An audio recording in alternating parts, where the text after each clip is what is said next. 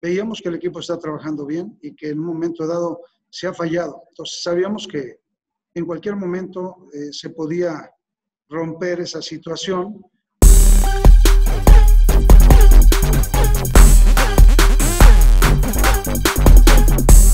Las situaciones cuando un equipo a lo mejor no hace goles eh, son varios, pueden ser varios factores. Eh, creo que la parte importante y la, la, lectura que nosotros teníamos, veíamos que el equipo está trabajando bien y que en un momento dado se ha fallado. Entonces sabíamos que en cualquier momento eh, se podía romper esa situación.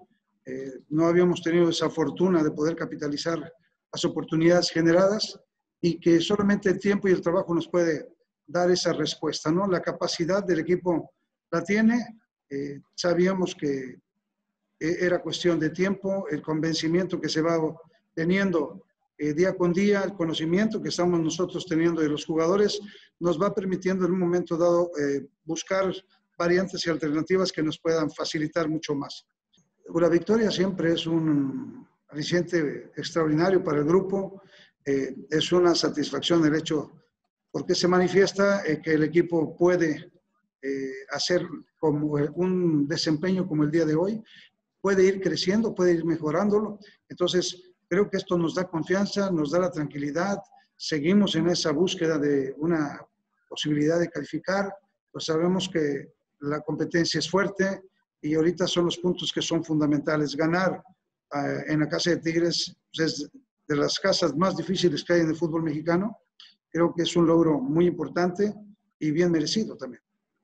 El equipo trabajó muy bien, eh, creo que se encontró en una dinámica muy intensa, eh, supo cristalizar las opciones, eh, manipuló ciertas acciones del equipo rival y eso nos da la tranquilidad de poder encontrar esta victoria, aprovechando también esa desesperación por parte de Tigres en la segunda parte y desde luego que en la cuestión de Macías, pues es algo que no me preocupa porque viene trabajando muy bien, viene teniéndose esa confianza y sabemos que el goleador es así.